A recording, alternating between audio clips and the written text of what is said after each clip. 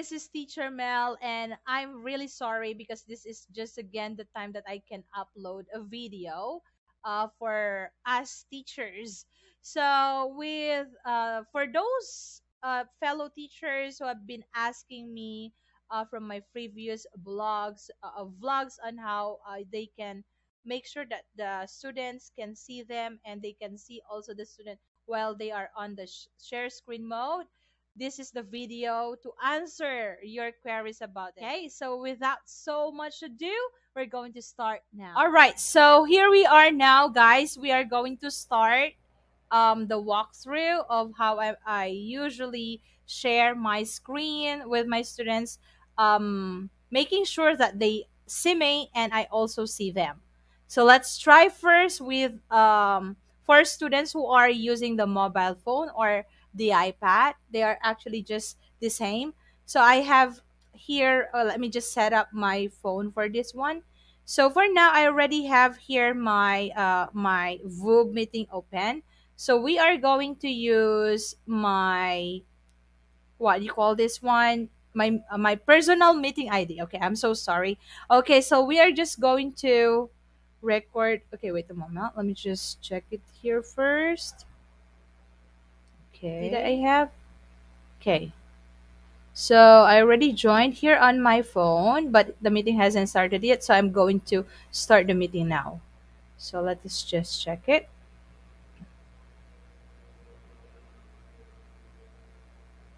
Okay, so there you go. All right, so I have already entered here. This is me on my mobile phone, okay?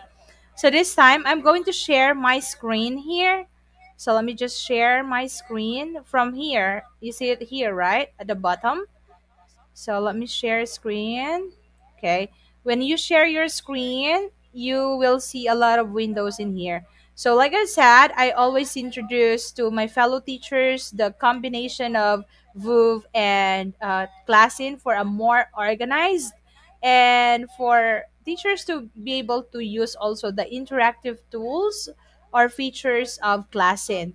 So we have here this apps that have been opened. So let me just click on the Classin. And these are the windows that I have for Classin. Of course, I have to click on the classroom blackboard. Okay. So once I have it here, and if I want to share some audio, okay, in the future or in the class, during the class, I should say, I just have to share PC audio. Okay? And for the video fluency, this will reduce the usage, okay, of uh, your video and it will mm, create a more fluent, okay, a, a more fluent usage of your video. Is that how they call it? But it will just make your video not so laggy Okay, so I'll always have this one. Okay, you also have another one in here, but this one is an on-screen portrait mode, which I'm going to share also or show you later. So let's start first with this one, video frequency preferred. Because once you click this one, you won't see the video of yourself and also the student. So maybe that's probably one of the questions that you want, okay, an answer where you can you check on the video so that you can open both the teacher's video and also the student's video. So let's do it. And then share. Okay, there you go, guys. So now we are here on this window, the Blackboard, the Classin Blackboard window. And if you noticed, you can see uh, the right part, okay, in here on the top, almost the top. There's an arrow, right? It's when you click on this one, it shows show floating list in this part. Okay, I'll just have the mark here, this part. Okay, so I'll click on this one. And you see it already shows my video and also the video of my student. Okay, but take a note that there are also three icons on the left of this bar. So let's just check what they are. So the second one, I mean the square one, is just my video, the teacher's video, okay, that you see on the screen, the teacher's screen. And in here, you just see no one. Okay? Because this one is from my camera itself. Okay, so let's do it again. This one has no video at all. This one is a teacher's video only, but the third icon shows both the teacher's video and also the student's video. Okay, and if you want this to to be hidden, you just have to click on that. And if you want it to open again, you just have to click on that. Okay, so it's easy as that. Now let's go to the the side of the student.